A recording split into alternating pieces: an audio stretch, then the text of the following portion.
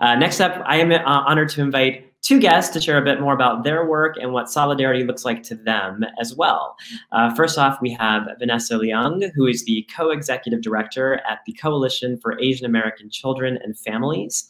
CACF is the nation's only pan-Asian children and family advocacy organization bringing together community-based organizations as well as youth and allies to fight for the equity uh, uh, to fight for equity for the APA community. I am also excited to welcome Khafre Jay, who is the founder and executive director of Hip Hop for Change. Hip Hop for Change is a nonprofit in the Bay Area that advocates for systemic change through grassroots organizing, arts programming, and educational events. So please welcome Vanessa and Khafre. Hi. Hi. Welcome, welcome, Thank welcome. I'm so happy that Thank you. Here. Um, but so just, just to kick off, um, I um, I'm so excited that you that you both are a part of this event today. And Vanessa, I know that you're in New York City, and Khafre, you're in the Bay Area. So I love that we have these this bi-coastal representation here today. I I love for each of you to give you a few minutes to um, share about what your organizations are actually doing, and uh, um, uh, just a little bit about who you are and and you know what you're putting out in the world. So Vanessa, would you like to start? Sure. Thank you so much, uh, Maulik, and, and all of you all at Act to Change for putting this together. Um, I'm Vanessa Leung, um, pronouns she, her, hers, and I'm co-executive director of CACF. And I'm a child of immigrants, um, born and raised in New York City, um, and a mother of three boys. So I'm, I'm, really always grateful to be able to work with an amazing team at CACF and, and energized by the community we build every day. Um, so since 1986, CACF has focused on advocating for equity and opportunity for marginalized Asian New Yorkers. And our work is focused on systems change, really transforming our communities for the better.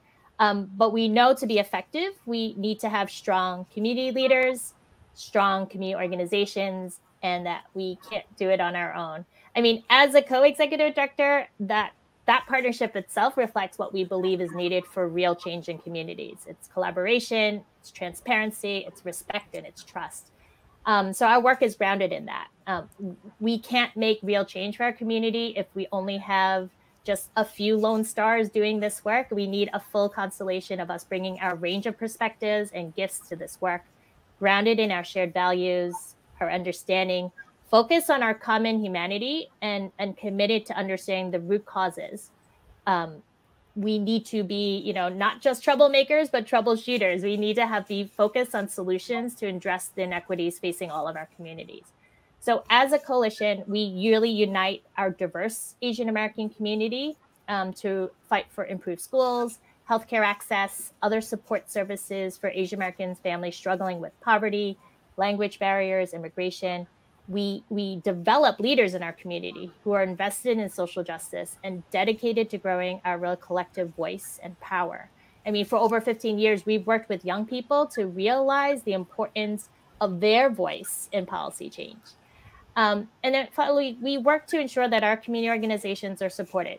Um, we have nearly 50 community-based organizations, nonprofits in the city um, and they provide the vital, culturally competent, language accessible services that are often the only lifeline um, for so many in our community. Um, so that's what we do every day. Um, and we believe in this work that it is not just about me, it's not just about us, it's, it's, it's, it's, it's work that we need to do together.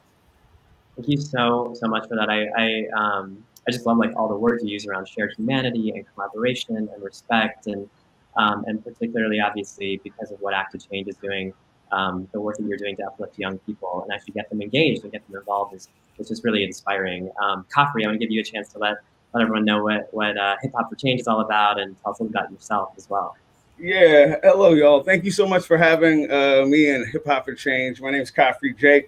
Um, yeah, I'll start off just saying right now, three corporations own 90% of the depiction of hip hop culture. This is a culture, it's not just music it's how I walk, talk, dress, paint, think, and act. And most kids in America are hip hop cultured or at least hip hop curious.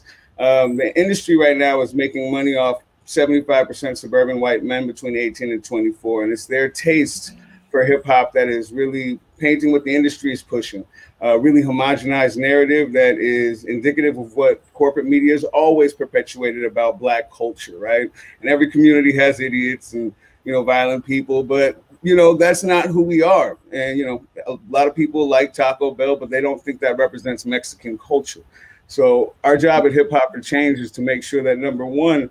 Um, the entirety of the world knows that hip hop is beautiful and they don't have to part like the Red Sea when I'm walking down liberal Berkeley uh, streets, you know, because I look hip hop culture, you know. Uh, but I think, you know, primarily our main goal is to uh, build a base of self determination for hip hop culture for people to access that culture because hip hop has this ingrained nugget of self affirmation that for some of these youth, when they go through our program, and we've taught 25,000 kids K through 12, it's some of the first times they get to deal with the, the idea and concept of, of, of being worthy and valuable. And hip hop does that. Uh, and when you see a room full of second graders break dancing and rap battling, it's a no brainer. So uh, we also give jobs and employment to local hip hop artists to become educators, trauma trained educators, and we throw fat hip hop shows that perpetuate social justice. So we're building back this whole thing. We're taking back the game. We're fighting for our culture.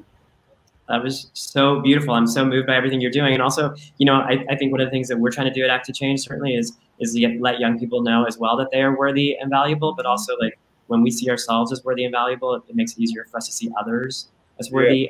Valuable. And I think that is always like a way to eradicate uh, hate and bias. So I just it's, it's just really amazing to hear about um, what, what both of you are doing. I would love to um, just dig a little bit deeper and ask you both uh, to help me and all of our listeners better understand how can we be most effective in supporting change? Because one of the things that's come up a lot uh, lately, and particularly in light of all the violence against um, our elder community and the Asian American community, is how important it is for us to listen to folks who are actually on the ground, like yourselves, or folks who are advocating for solutions that come from the community. And I, and I hear you, you know, Khafre, um, I, I, I, hope I'm hearing this right, but this idea that like hip culture has been co-opted by by um, people who don't really understand culture and have biases against the people who are actually part of the culture. So how can you share what is the importance of community-based organizations and what kind of support is most helpful from folks who are not working as closely as you are on the ground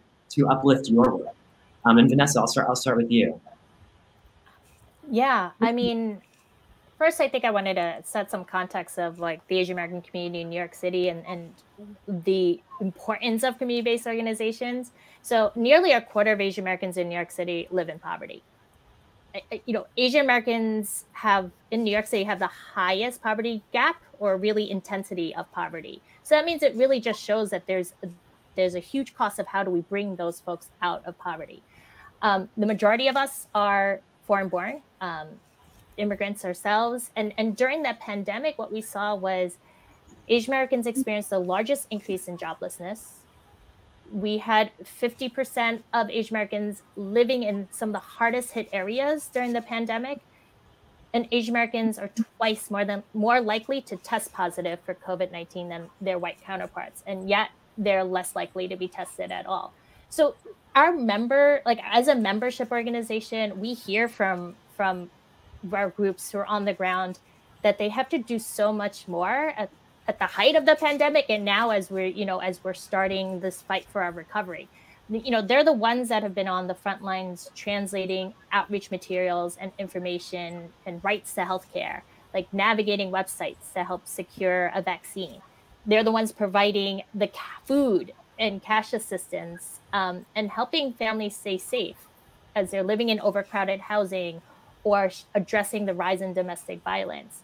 It, the, they're supporting these families that have that fear of not just the uncertainties of essential work, the lost jobs, deportations, um, but also kind of this fear in this community around this, you know, what we've been seeing. I mean, we've seen the reports of of more incidents, bias-based incidents, and and violence, but we've known for a long that this has been happening all along. Like it's just, I mean, now I'm like, it's it's great that folks are coming forward to share those stories of or report these things um, but I think folks on the ground, we've been seeing this. We've been seeing this violence for for a while, and I think the solutions here is what we need to focus on is trauma informed care, the healing that needs to happen, um, the focus on you know what we need to do on the long term um, to really support communities um, that are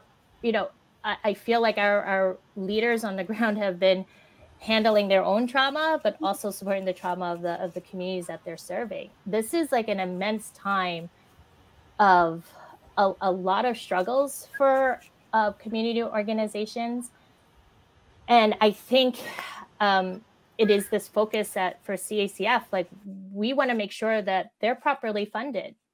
Groups need to be invested in. Um, we want to make it easier for them to really talk about the struggles of their communities. Um, to really focus on how we dismantle systems of oppression and address racism that really impacts all of us. Like this, this challenge of of addressing um, bias-based anti-Asian incidents and violence is is not something that we do alone as an Asian API community. It's something that I feel like in New York we've been calling like we need to do this together as New Yorkers. Like we need to not have siloed conversations. Like we need to talk about what this means for us together. Um, like we don't want band-aid solutions and and knee-jerk reactions and um, you know and and justify kind of more investments in policing of our communities like we need to look at yes we need to immediate immediate support for um, survivors of incidents. Like we need to make sure that they have the support and resources the language access to feel like they can feel that they are you know living in a safe community. We need to redefine what safety is. You know safety is not just the absence of crime and violence in our community, it's actually the presence of wellness. And if we need to focus on the presence of wellness, we need to be investing in all of our communities here in New York. Um, yeah. And I think what we need to do, and like this is when I'm like calling for folks here, is like, you know, add your voices to these calls for equity. It's like amplifying these stories from the ground. It's calling for funding of organizations that are trusted sources of support um, you know, there's ways to volunteer at these organizations um, that are addressing these immediate emerging needs. But I feel like part of it is taking that next step um, to draw the connections to what these challenges we're facing right now and how these are connected to longstanding issues. Like, what are the root causes to poverty, food insecurity, low wages, health inequities, and violence? Like, that's the only way we're actually going to move forward. Um, is actually not just treating the symptoms, but really working together to address those root causes. Oh my god, that I thought that was like so well stated, and I, you know, not to oversimplify, but what I what I really no, it was like I feel like you you talked about the nuances of what people are seeing on the ground and how I think there is a tendency from the outside to say, oh, I see a problem, and here's an easy way to fix it that you know I can that I can throw either my support or money to or whatever it is without engaging with people on the ground to find out how we're gonna how we're gonna change these things in the long run as opposed to just for like this week or next or next month or whatever. So thank you so much for uh, really clarifying clarifying that. I really appreciate it. Khafre, I want to give you a chance to answer the same uh, the same question. Yeah, you know, uh, Malcolm X said we're not out uh, organized, uh, not outnumbered, we're out organized. You know what I'm saying? And I think that's one of the biggest things here. I mean, violence is a part of the fabric of America right? you know, we're not going to get away from violence and intercommunal violence or whatever kind of violence without a lot of massive systemic change.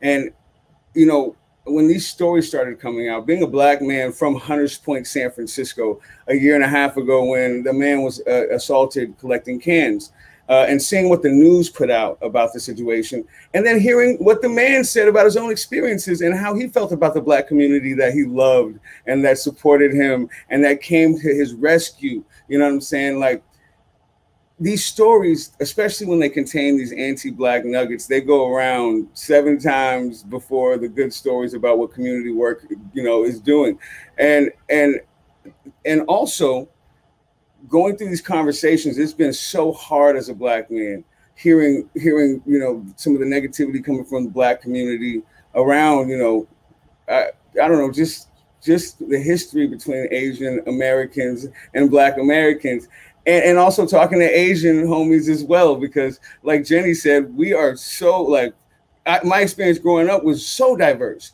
but that's not the experiences of our parents. You know what I'm saying? Our parents are so segregated here in the Bay Area, and they rely a lot on these media narratives to paint the picture of what they know. Uh, we're so segregated, we tend to have these inauthentic experiences. So that's why I'm here.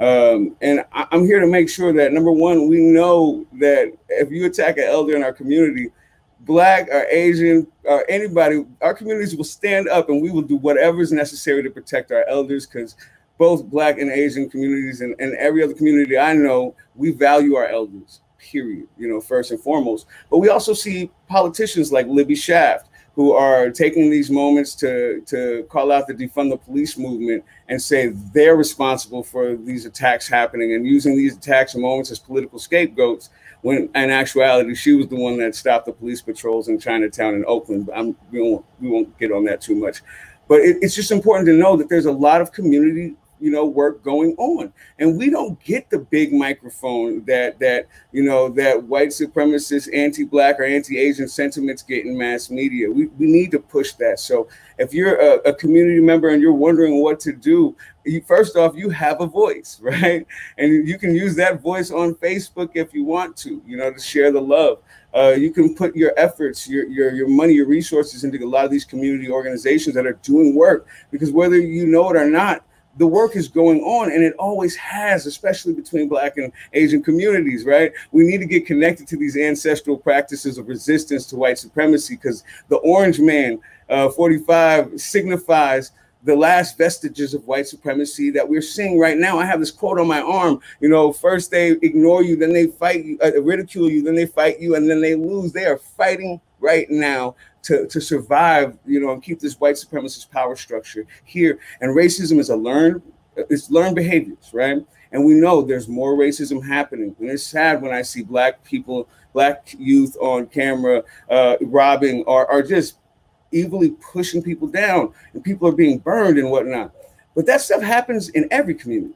You know, America is a violent place and it you know mental health not being taken care of these things are going to happen until we have massive systemic change but what we need to do right now is to make sure that our people have hope and hope is based in the narratives that are going around so it's my job as a community leader to make sure that my community knows, hey, bro, we're out here. We're in these streets. We're doing the solidarity marches. Like this is it. There's always going to be a few people that are, are, are losing it and, and wrapped up in this violence. And there's going to be a whole white supremacist power structure that is trying to push these narratives. But it's not Asians versus black. It's not black versus Asians, right? It is not that. And we have to make sure that people know it in our community. We have to make sure our elders who are so segregated amongst themselves know that we're doing this work and hopefully give them hope so they can come out and join the rallies and come out and join and then start sharing on Facebook that, you know, black and, and Asian solidarity stuff is going on. So that that's why I'm here.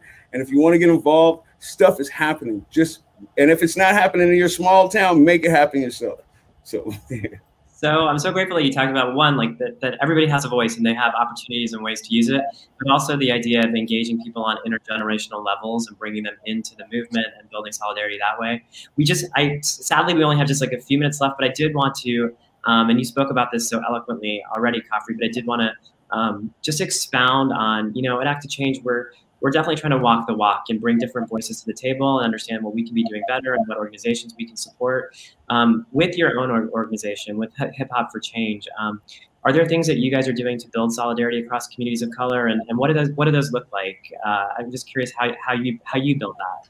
Yeah, yeah. I mean, you you literally you have to be the change you want to see, right? We throw events we're an event-based organization, education. So when that thing happened with the elder in Hunters Point, we had an event right at the spot, right? And we had people from Chinatown come out, and we had people from the Fillmore and Lakeview come out, and we had a little barbecue, and we shared space, and we shared music and song. Like you don't you don't fight hate with you know news reports about the hate that's going on that are myopic and don't put the social context of why things are happening, and just point the finger at black folks, and then they get out real quick what we have to do is just create these moments because we're not trying to take I, I, could care less about these narratives that are going on in media. What i care about is the the brothers and sisters that i'm going to be walking by in the street corners in my community. So if i can create an event like hip hop for change has had you know two different talks right now. We're about to have a, a fat hip hop show because you know, Asian people are big in hip hop. Like we don't have a problem with racism in hip hop. We're based on the uh, principles of peace, love, unity, and having fun.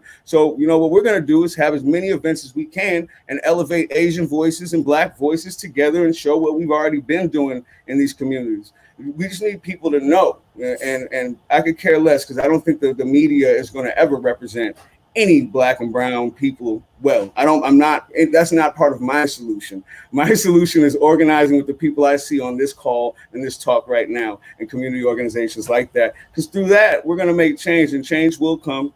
It's slowly, but focus on your local community. And if it's not happening, make it happen there. Because, you know, we don't do this because we think we'll succeed. We do this because it's the right thing to do. So. Hmm.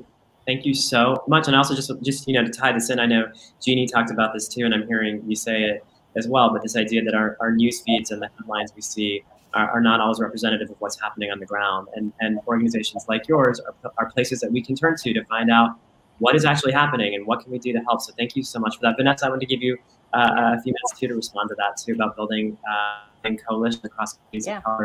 What I mean, yeah, at CCF, I mean, every day we're we're working to dispel the model minority myth, and we are doing that at, like at a systems level because that stereotype has been used to you know, not only justify underinvestments in the Asian American community, but also in underinvestments in other communities of color. I mean, I, I think we need to start changing that dynamic that we know the work must include confronting anti-blackness because it hurts all of us, right? It's it's the it's the constant threat to black lives. It's it's the separation we saw of latino families at the border. It's it's dismissing the rights of indigenous folks and and it's actually rendering oftentimes our asian american communities as as invisible especially our, uh, you know the poor and, and working class. So you know we have to start having sometimes difficult conversations in in our asian american community. Like you know we're we're highly immigrant here in new york city. And, and as a community here. It's it's it's, it's I, what, what we see is that there's a lack of racial literacy and and this knowledge of our shared history fighting oppression. So I mean, I you know it's it's it's one of these balance. Like I understand so many individuals, families in our communities are are needing to survive. I mean, it's almost a luxury to be able to talk about oppression and think through this stuff. Um, but it's obviously they you know not realizing what internalized racism is. But you know we've seen parts of our community live in their segregated bubble um, calling for the status quo to remain and, and we need to push back against that. It's oftentimes you know we often don't even realize the trauma we're facing ourselves but also the trauma we've caused um, in other communities. And so it is part of believing that you know i you know we don't have to hide our struggles um, that we can actually also demand that our systems do better because i think that's where um you know it's this constant field to to be seen. Um but it's also like we can call for you know our our government to be doing better for us. Um that's the work about actually transforming our city systems. It's improving public schools our access to care. It's it's it's supporting culture responsive sustaining education in our schools. It's about you know um, better implicit bias trainings and investing in that. Um, but you know, the work to build solidarity is is real work.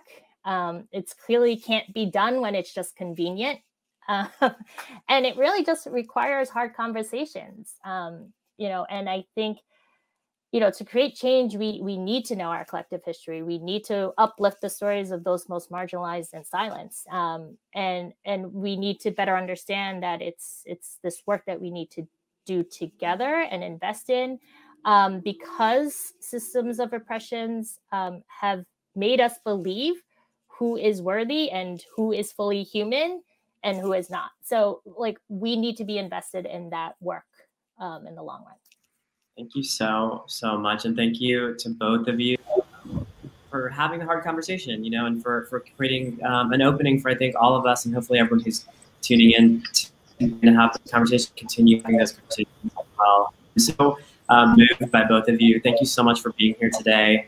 Um, please stay in touch with Act to Change. We'll stay in touch with you. And um, thank you, thank you. Thank you. Thank you.